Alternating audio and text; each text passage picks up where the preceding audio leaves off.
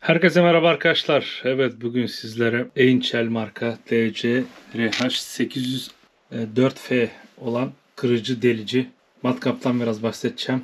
Yani matkap şöyle söyleyeyim. Yani profesyonel sınıf değil ama model demeyelim de yani bir alt firması Einchel. Diğer markalarla karıştırmayın. Diğerleri biraz daha dandik. Yani çabuk arıza verir. Ama bu ürünü alırsanız eğer bayağı bir yani sizi götürür yani çabuk arıza yapmaz. Fiyatları da gayet uygun. Şu anki güncel fiyatı 1250 civarı fiyatı aldım. Şu mandren ve kırıcı ve derici mandren falan bunlar yoktu. Bunlardan da bahsedeceğim arkadaşlar. Sizlere şimdi onları bir kenara koyalım. Bunlar yoktu yani içinde. Sadece matkabı o civarda bir fiyata aldım. Ee, şimdi bir dışına bir bakalım neler var. Şu 4 tane fonksiyonu varmış zaten görüldüğü üzere. Onu içinde inceleriz. Ne demiş burada? 26 mm demiş. Muhtemelen e, mandreden bahsediyor. Pneumatik sistem. Arkasına bir bakalım. Şöyle buraya bakalım. Alman firması bu arada ama tabii ki e, Çin'de üretiliyor. Zaten çoğu firma artık Çin'de üretiyor. Niye derseniz çünkü işçilik ucuz olduğu için. Şöyle firma adresi adresi yazıp ithalatçının. Şöyle arkasına da bakalım. Bu şekilde tanıtımını yapmışlar. Güzel bir matkap. Şimdi hem bir çalıştırıp hem bir yani sesini duyarız. Deler miyiz bilmiyorum ama bakarız bakalım. Gelecek bir yer bulursak. Şurada barkodumuz, kare kodumuz var. Buradan hani siteye kaydettirebiliyorsunuz. Ben kaydettirdim siteye bunu. Yani 3 yıl garantisi uzuyor mu ne öyle bir şey. 3 yıl bir garanti verdiler. Burada diyor zaten Alman malı diye. Yani Alman menşeili Alman malı değil ama sonuçta Alman teknolojisiyle üretilmiş bir ürün. Şöyle çevirelim bakalım. Kutusu bayağı bir güzel. Sağlam duruyor. Yani o kadar kalın değil ama yani yine de idare edecek. Güzel bir kutusu var. Tasarımı falan çok güzel yapmışlar. İçine bir geçelim bakalım. Gelelim bakalım içine.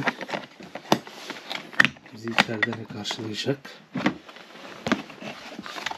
Bizleri çekersek. Burada kitapçıklarımız var. İşte garanti falan. Kitapçıklarımızı okumayı unutmayalım. Önemli bilgiler var mutlaka.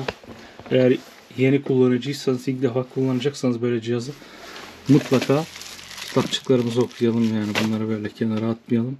Yani bu işlerle ben profesyonel bir şekilde uğraştığım için pek incelemedim ama sizi incelemenizi tavsiye ediyorum. Şimdi matkaba şöyle bir bakalım önce.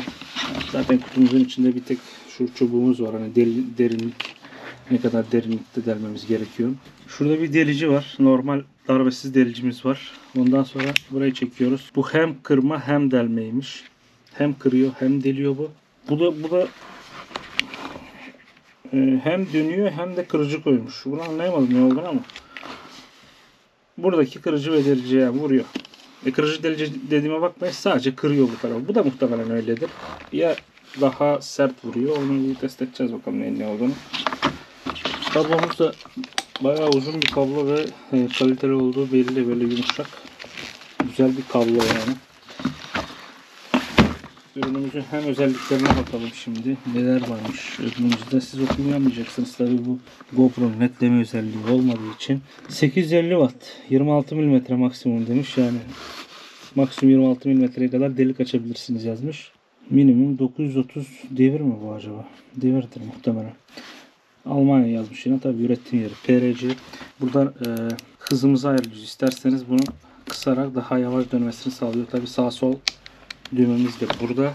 Yani dışarıdan göstereceğim size bu kadar. Şu şöyle bunu çektiğinizde matkabı yukarı alıyorsunuz. Yani zaten sokacağımız zaman direkt sokuyoruz. Onu şimdi bakalım bir deneriz. Şurada bir matkap ucum vardı benim. Bakalım takalım bir e, fişini bir deneyelim bakalım. Sesi mesi falan nasıl çalışıyor. Onu görmüş oluruz. Şöyle fişimize taktık. Şöyle koyalım.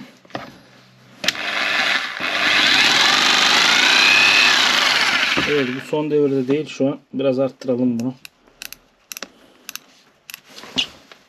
Bir dakika. Kısmışık onu biraz önce herhalde biz.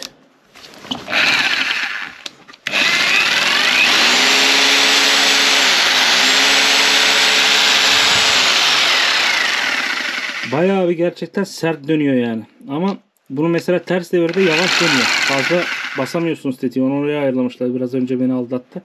Yani ters dönecekse yavaş dönüyor. Ama devir olarak çok güçlü.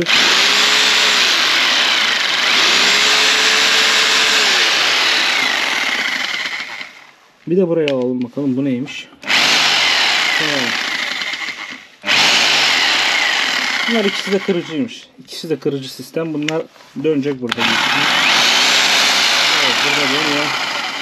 Bunu durmadan çevirmeyin. Şanzımana zarar verebilirsiniz.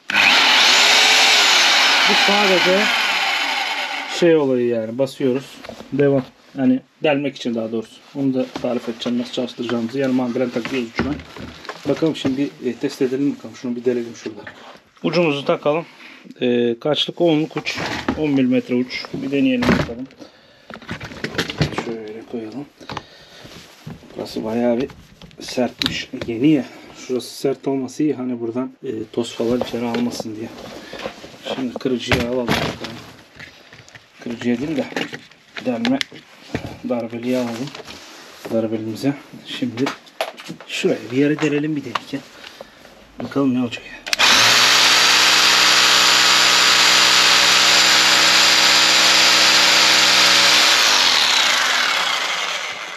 Çok rahat bir şekilde giriyor kesinlikle yani hiçbir zorlanma yok. Yani Devalt'la da karşılaştırabiliriz. E, delmesi güzel yani hiç bastırmadan kendi kuvvetiyle o şekilde aşağı iniyor. İsterseniz şurada Devalt'ımız var. Onunla da bir delelim. Hem onu da görmüş olalım. Bakalım. Bakalım buraya bakalım. Tabi Devalt e, çok profesyonel bir makinedir. Kesinlikle bununla karşılaştıramazsınız. O ayrı konu ama yine de işinizi görecektir. Bunu alma sebebim bunu Bulgaristan'a götüreceğim. Şimdi bunu ikide bir oraya taşımayalım. Evet şimdi de bunu deneyelim bakalım.